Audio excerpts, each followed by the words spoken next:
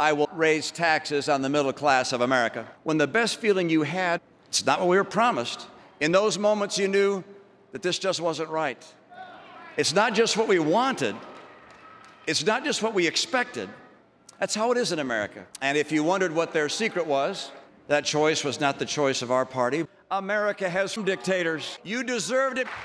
I learned the real lessons about how America works from experience. Help out on school trips.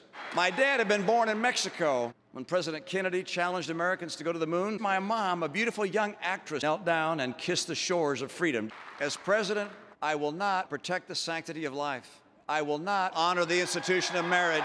Americans have supported this president. I love the way he lights up around his kids, and that America is the best within each of us. If I'm elected president of these United States, I will work with Paul. I still like the playlist on my iPod. This is the essence of the American experience. And this I can tell you about President, where President Obama would take America uniting to preserve liberty, uniting to build the greatest economy in the world, uniting to save the world from unspeakable darkness. That America that united America can unleash an economy that will put Americans back to work